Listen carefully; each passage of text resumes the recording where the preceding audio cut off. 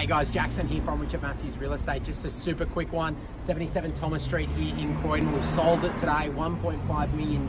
We had four registered bidders on the day. Awesome auction. We also had another one at Liverpool Road in Strathfield today, sold for a million and forty, $120,000 over the reserve and 17 registered bidders. So heaps of buyers out there in the market. Let's take a look at what the owners here at 77 Thomas Street had to say. Hi everyone, I'd like to thank Jackson for such an amazing day today. We're all happy with this with the sale. We're all over the moon.